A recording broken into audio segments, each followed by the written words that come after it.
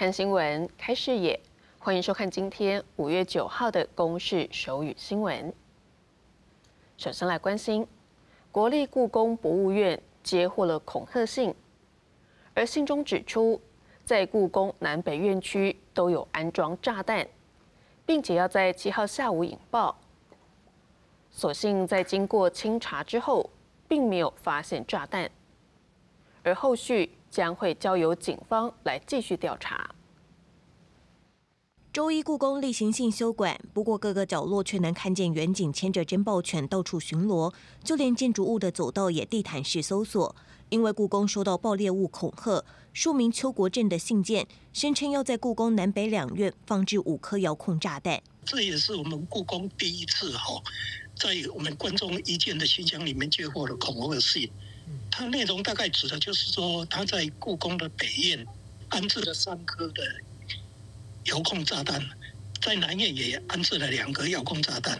故宫立刻通报警方以及国土安全办公室，启动紧急应变措施，全面安检并调阅监视器后，没有发现任何可疑爆裂物，因此后续将由刑事局侦办。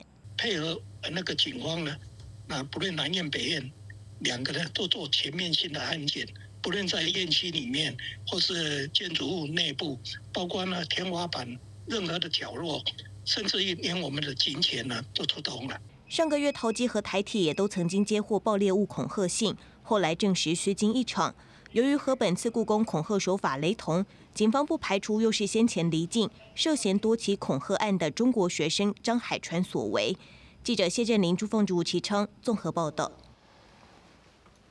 星宇航空。六号在日本成田机场发生了一连串班机延误和调度困难事件，甚至让大批的旅客就睡在日本机场。新宇董事长张国伟连夜飞往日本，再亲自把飞机开回台湾，还向媒体透露自己是一夜没睡，这是否涉及疲劳驾驶？民航局将要调查。为了解决新宇航空东京飞台北航班误点状况，新宇航空董事长张国伟七号第一时间带机师飞日本，再亲自将飞机开回台湾，力拼挽救形象，却因为这段话引起外界关注。啊，你看我也没没办法，我也要自己亲自。对啊。昨天到现在我都没睡觉，从三点开始搞。传出就是张国伟自称一夜没睡，引起民航局将张国伟列入调查，有疲劳驾驶或超过执勤时间。但传出民航局要查的不止这一项，包含新宇客机转降过程、飞行操作是否符合 SOP，以及日本塔台是否确实同意起飞又取消，这些通通都要查。新宇在这个呃成年是有代理公司哦，那这个代理公司是不是有完全发挥沟通的功能？其实我觉得我对这点是存疑，因为两边要沟通的时候，可能机场讲的方式透过了中间的这个代理。你的公司做一个这个协调的时候，是不是新宇听到的是一样的事情，还是有些误会？我觉得这当中是一个可以探讨的方向。对于新宇航空误点，民航局表示要求新宇航空立即检讨改善，目前各项程序都在进行中。新宇航空则表示会全面检讨，接受指教，对旅客和社会大众致歉。而张国伟更宣布来回机票全额退费，赔偿金额至少五百七十万来灭火。不过专家认为新宇这次判断失准，也凸显只有三架 A 三五零的新宇容不了一次犯错的空间。当初判断失准啊，造成它的后面的应变的处理不是非常的理想，它的调度太吃紧了哈。我看起来，如果洛杉矶的飞机必须要靠我们的 A 三五来飞的话哈，它有大概有两架困在日本，它就没办法正常的去做洛杉矶的航线的服务。那这个影响都是连锁，它还要继续扩充北美的这个航线哈。所以我们的想法是，机师哈或是飞飞行组员够不够？飞机够不够？这个是决定它是不是继续扩充航线的一个基础了。我想这部分也会在我们后续在核准航线里面会做一些考量。专家认为，新宇航空航线扩展太快，建议等机队扩大，有足够飞机和机组员应援，才能避免航班延误等事件重演。记者纵道。美式卖场好事多贩售进口科克兰三种综合酶以及蓝莓。陆续被检出 A 肝病毒，而目前台北跟新北都有接获医疗院所通报有疑似 A 肝病例。新北市的个案部分，复验之后是阴性，而为了慎重起见，在裁剪个案血清，检验结果最快今天出炉。而台北市卫生局也接获疑似病例，正在进行疫调。美式卖场好事多贩售进口科克兰冷冻三种综合酶蓝莓，陆续被检出 A 型肝炎病毒，引发消费者恐慌。不过好事多日前却宣称，国内也没有出现因为使用相关产品导致感染 A 肝的确定病例，让胸腔科医师怒批，那是因为台湾非常少见 A 肝，民众感冒就医也不会被要求验 A 肝。日前更有网友向他反映确诊 A 肝，怀疑就是吃下 A 肝莓果惹的祸。他在平常的健检发现，哇，怎么肝功能三百多，再隔再隔一个月再验变成五百多，然后后来才去诊所一验 A 肝，因为他想起来他有吃好事多的莓果，一验 A 肝发现居然就是阳性。对此，机关署表示，新北疑似 A 肝个案为四十多岁女性，有 B 肝病史，经过卫生局将检体送交本署认可实验室复验，结果为阴性，暂时排除急性 A 型肝炎。但为了慎重起见，将再采集个案血清送昆阳实验室检验。而台北市卫生局也接获疑似病例，正在进行疫调。今天早上的时候，这个复验结果出来哈，他的 A 肝的抗体 IgM 哈是呃判为阴性哈，那个临界值也是一点零不过。它的数字只有零点三几而已哈，所以跟其实第一次检验的数字是差蛮多的。由于好事多问题没果，至少有四点二万名会员曾经购买。行政院消保处表示，到八号中午为止，已经接获二十五件申诉案件，其中有一人表示身体不适。而消基会也呼吁业者应从宽从优，提出补偿及赔偿方案。精神层面上影响更大一些，所以我们建议呢，应该会在这一个以往的判决的金额更更高一点，所以我们才建议说，应该在三千块或五千块以上的这样一个金额啊，那这样才算是对消费者来是一个合理的一个补偿。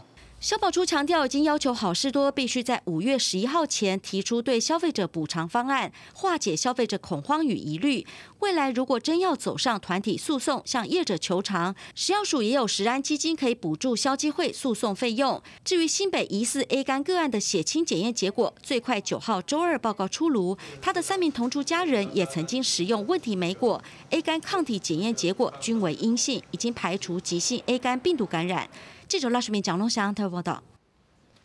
读报时间来看到，《中国时报》是财政部公布四月海关海关进出口统计，四月出口年减百分之十三点三，连续八个月呈现衰退。财政部表示，全球景气持续收缩，终端需求依旧不振，五月出口恐怕会是连九黑。上半年出口很可能创近十四年以来最大减幅。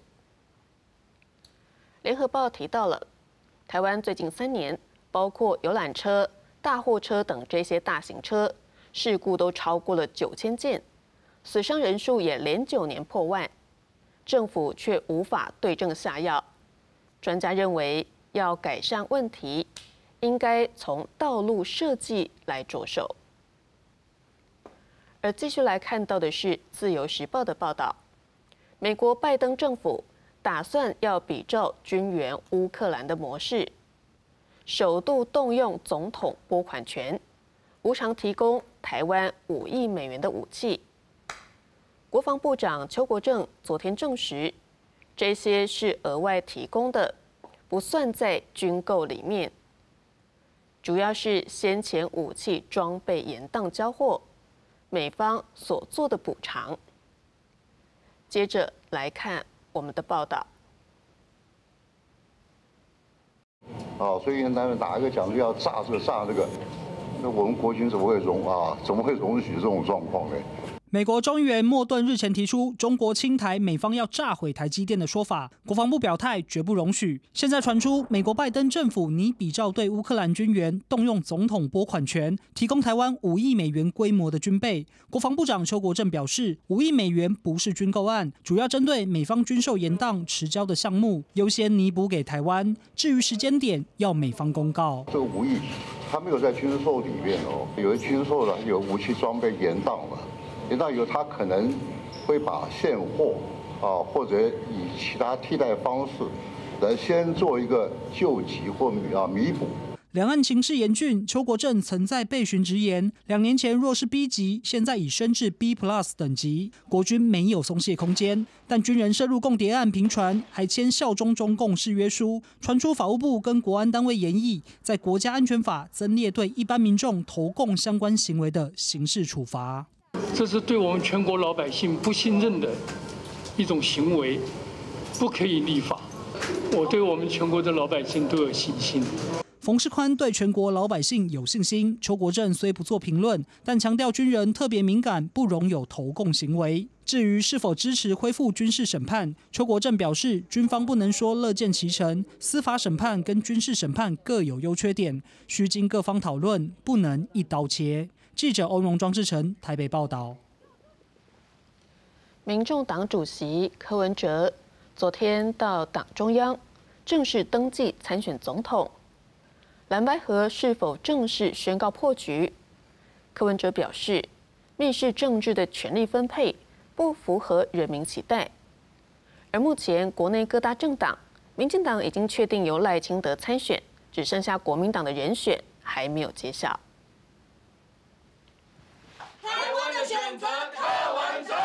民众党主席柯文哲八号到党中央正式登记参选二零二四总统，是否代表国民党期待的蓝白河非绿大联盟正式破局？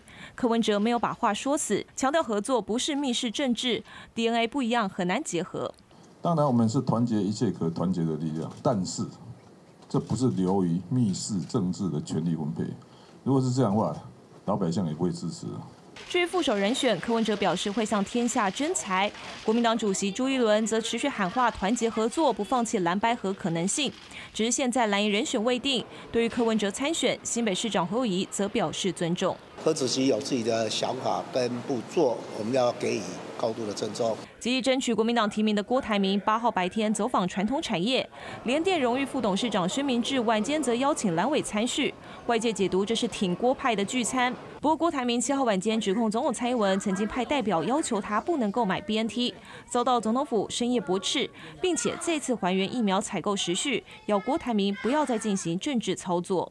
今天的这个很多事情大家都知道，我也不在这里多说。也不是经济合作而已，而是面对极权主义的扩张，两国愿意站在一起，共同守护区域的和平跟稳定。代表民进党参选的副总统赖清德则回到台南出席八田羽衣追思纪念会，引用前首相安倍晋三所说的“台湾有事就是日本有事”，来表达和平需要靠力量，力量需要团结，希望台日增强合作，共同守护区域和平。记者综合报道。为了要强化后备战力，国军办理女性后备教招，首批有十四人在昨天报到。参加为期五天的训练，而所有的课程都是跟男性一起编组。撑伞拉着行李箱，首批女性教照后备人员八号上午在桃园市八德区的战术位置办理报到。虽然都是自愿报名，但还是有人感到紧张。陪同报道的丈夫则表达全力支持。女生也是第一次有教招这个东西，对，所以蛮紧张。去年的退伍了，去年的。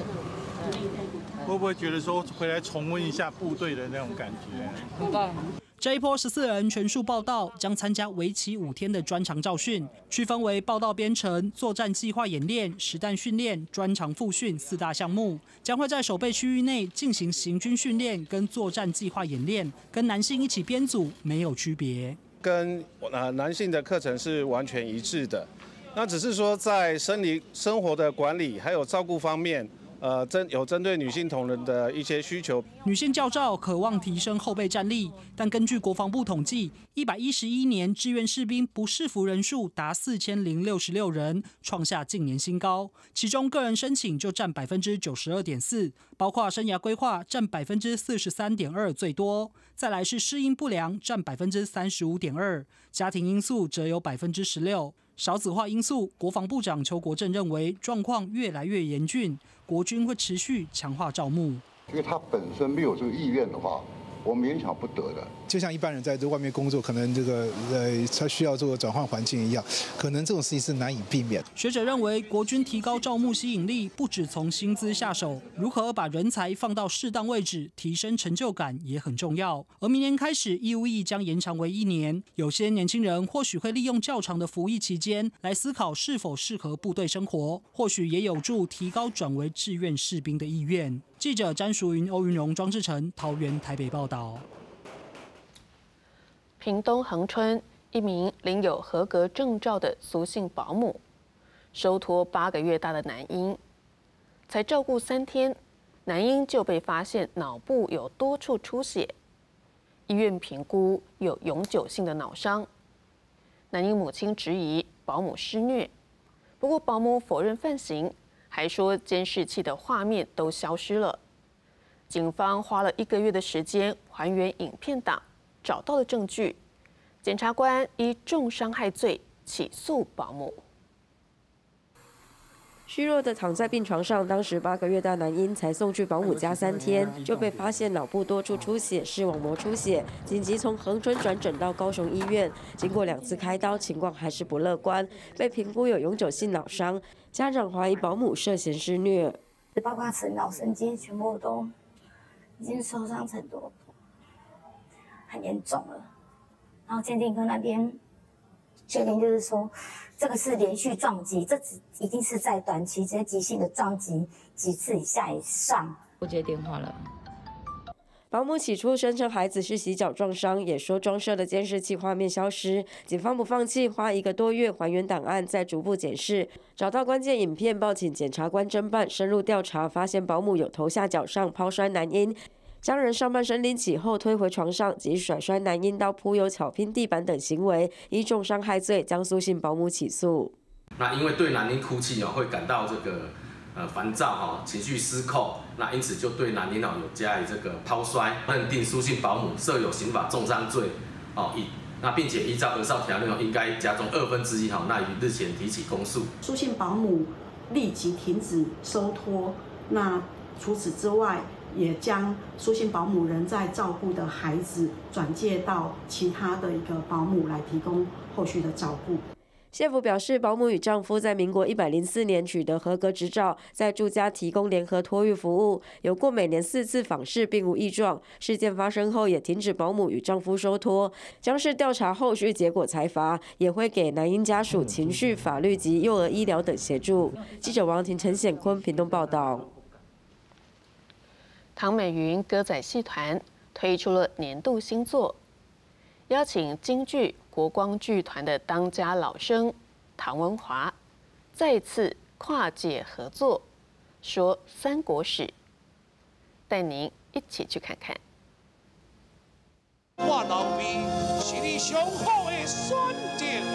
刘备三顾茅庐请出诸葛亮，携手开创三分天下局势。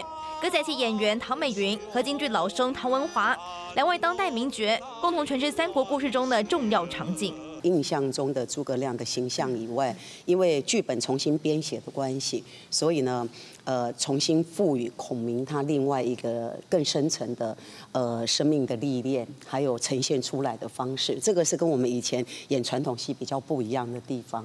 唐美云歌仔戏团带来年度新作。并邀请国光剧团的当家老生唐文华，继去年合作后第二次挑战台语歌仔戏。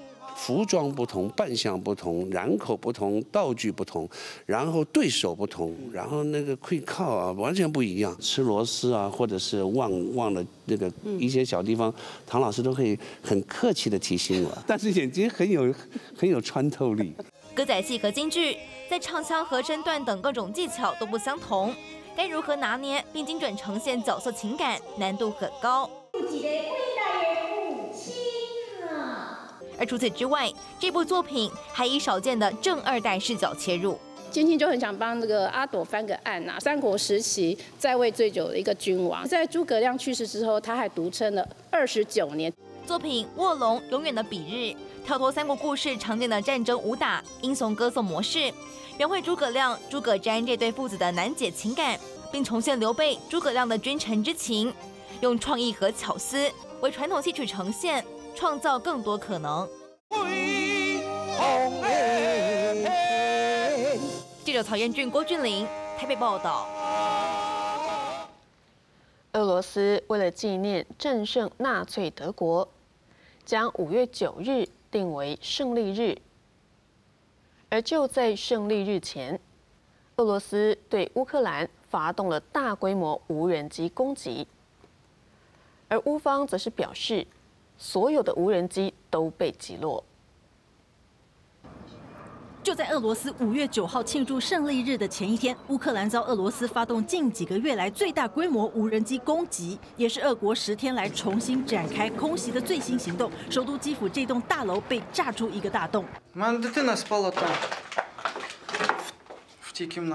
俄方发射六十架伊朗制神风无人机，其中三十六架对准基辅，全数遭乌方击落。Right now we're in apartment one of the buildings. Today was one of the massive attack to our hometown. 乌方表示，俄军正在乌东关键战区巴赫姆特展开最后推进，希望在胜利日前夺下，当做总统普廷在付出高昂代价的冬季攻势中唯一战利品。巴赫姆特是战争十四个月来最血腥战役。Та перемоги над нацизмом у другій світовій війні і переможуть рашизм. Це буде День Європи. 泽伦斯基此举也显示乌克兰正与莫斯科渐行渐远。胜利日是为了纪念1945年战胜纳粹德国，也是俄罗斯人极为重要的节日。活动五月九号举行，不过俄罗斯境内许多地区已经取消相关活动，因为考量到这些活动可能成为乌克兰攻击的目标。 Его вполне можно понять, когда мы имеем дело родные, близкие, для которых этот день будет и останется святым. 过去同为前苏联的俄乌两国原本都在九号庆祝胜利日。俄方表示，尽管泽伦斯基把胜利日改日，相信乌克兰人民还是会庆祝这一天。公视新闻黄月玲编译。加拿大西部野火蔓延，亚伯达省有一百零八场的火灾还在持续。 当局宣布进入紧急状态，已经撤离了将近三万人，所幸目前无人伤亡。而南半球的澳洲今年冬天提早报道，东南部提早一个月降下了大雪。气象局警告，畜牧业要慎防动物因为低温而死亡。不远处的地平线上，整片浓浓的灰烟。加拿大西部野火蔓延，亚伯达省官员指出，境内有一百零八场火灾还在持续。由于多处火势尚未获得控制，上周六已宣布进入紧急状态，当局持续要求更多居民撤离。More than twenty-nine thousand individuals have been evacuated from their homes to safe locations. While other communities are on evacuation alert, and residents in those communities should be prepared to evacuate on short notice. 亚伯达省是世界上最大产油区之一。今年春季炎热干燥，只需要星星之火就会引发野火。目前燃烧面积已经超过三十七万五千公顷。由于火势持续，部分地区的财产损失难以评估。消防员保持安全距离洒水灌救。俄罗斯乌拉山和西伯利亚大片区域近期也遭遇野火肆虐。截至七号为止，光是斯维尔德洛夫斯克州就有超过五万四千公顷森林起火，四千八百名消防员和六千多位志工奋力和大火搏斗。不过，当局指出，至少已经有四人死亡，数百间房屋被夷为平地。南半球的澳洲今年冬天则是提早报道，东南部下起的五月雪比过去提前一个月。根据澳洲气象局的数据，五五月第一个周末锋面来袭，气温骤降，远低于五月均温。不止山区降雪，首都坎培拉市区八号最低温已达到零度。就算往北走一点的雪梨附近，部分地区也是冷到下雪。I didn't expect it to be this thick because it sort of started early yesterday afternoon. It just kept going, and by the time we got up, it's like everything is just covered in snow. 雪梨西边一百二十公里外的小镇奥伯伦，强劲冷空气让大地一系变成了银白世界。不过气象局警告，东南部高山地区的畜牧业要慎防动物因为低温死亡。这波封面预计将影响到十号。公司新闻就有人钟月刚编译。关心天气，今天的水汽减少，只有华东地区以及中南部山区有零星短暂阵雨，其他地区都是多云到晴。而气温方面，在东北季风的影响下，北部及东半部的天气比较凉，中部以北及东北部低温约十七到十九度，其他地区二十到二十三度。至于高温的部分，北部及东半部是二十一到二十四度，中南部仍然可以达到二十七到三十度，日夜温差比较大，要请您留意温度的变化。接着提供您各地的气象资料。